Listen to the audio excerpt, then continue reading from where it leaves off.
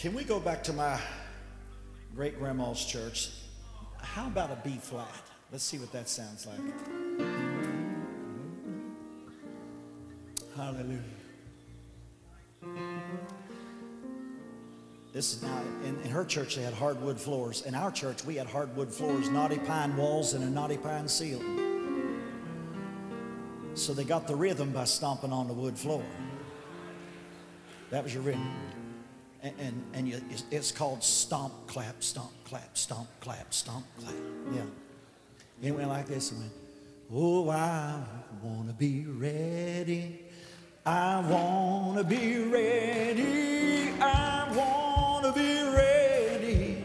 Walk in Jerusalem just like John. That's all you got to say. Practice. Walk in Jerusalem just like John. Walk in Jerusalem just like John walk in Jerusalem. Okay. Well, if you get there before I do, walk in Jerusalem just like John. Tell all my friends I'm coming too. Walk in Jerusalem just like John. Oh, I wanna be ready. I wanna be ready. I wanna be ready. Walk in Jerusalem just like John. Well,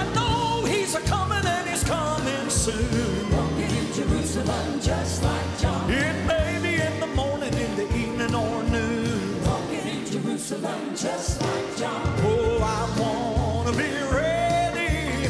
I wanna be ready. I wanna be ready.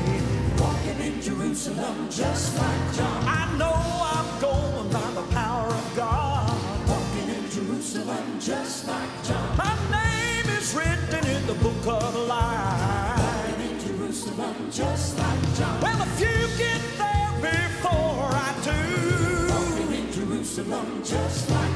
tell all my friends I'm a coming too. Walking in Jerusalem just like John. Oh, I wanna be ready. I wanna be ready. I wanna be ready. Walking in Jerusalem just like John. Let's all stand together. Now, I pray that you go to bed tonight and your toes are going like this. And you're going, walk in Jerusalem just like John. Walk in Jerusalem just like John. Because one day you're going to.